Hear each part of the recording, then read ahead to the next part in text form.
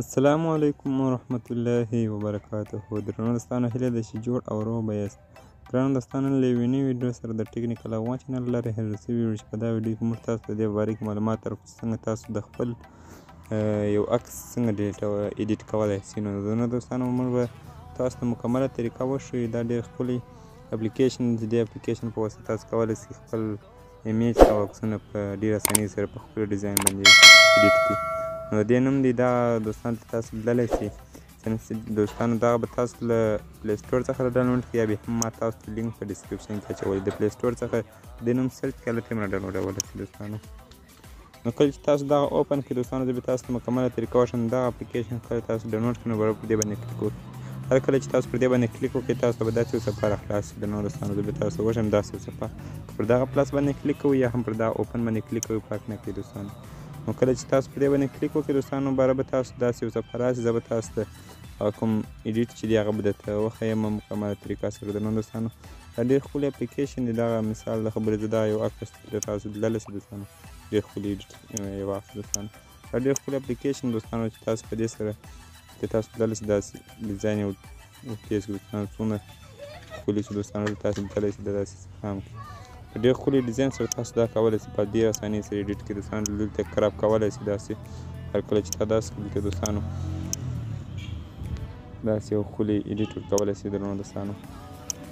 درنو دوستانو دا ډېر ښکلی اپلیکیشن دی چې تاسو د دې په واسطه تاسو په ډېره اسانۍ سره دې ته ښکلي ایډیټ ورکولی شئ درنو دوستانو دا اپلیکیشن ډاونلوډ کړئ په خپلې خوښۍ سره دې ته ایډیټ کولی شئ زه به تاسو ته یو طریقه وښیم درنو دوستانو زه به د دې لپاره یو بل ایمیج راواخلم چې هغه به چیرې درنو دوستانو دا دی دوستانو دا ایمیج دی دوستانو ما تاسو ته دا ایمیج تاسو اوس لیدلی چې دا دا ډول دی زه به دا ایډیټ کوم دلته تاسو راسئ دا سیف کړئ دوستانو تاسو دلی سئ دا ډول یو ایډیټ یې واخلئ دوستانو دې باندې کلیک وکړئ دا چې تاسو هر ځای بیرته ورڅخه ایسته کوئ درنو دوستانو دې باندې کلیک وکړئ داسې دا رنګ دلته راسئ پر دا باندې کلیک وکړئ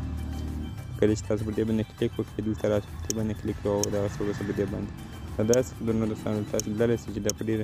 اسانۍ سره تاسو کولی سئ دلته هغه بیرته کوم څه چې تاسو کړي هغه بیرته ورڅخه ایسته کړئ درو دوستانه چې هغه ډېر سور رنګ واخلي بیخي درنو دوستانو دا ډېر ښکلی اپلیکیشن تاسو ته ډاونلوډ کړئ په ډېرې اسانۍ سره خپل عکسونه پکښې کې ایډیټ کړئ درنو دوستانو تاسو لیدلی شئ درنو دوستانو دا ډېر ښکلی اپلیکیشن دی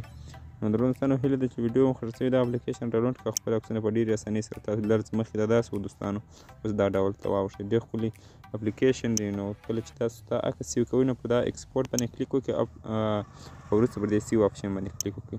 دا دوستان دا تاسو لپاره سیو تاسو دلته لیدلی شئ په ګیلري کې راولي دا دوستان دا دوستان دا نو هیله ده چې ویډیو مو خوښه شوې ټیکنیکل افغان چینل سره سبسکرایب کړئ په څنګ کې د بیل آیکن باندې هم کلیک وکړئ چې به تاسو ته هره ویډیو په وخت ورسیږي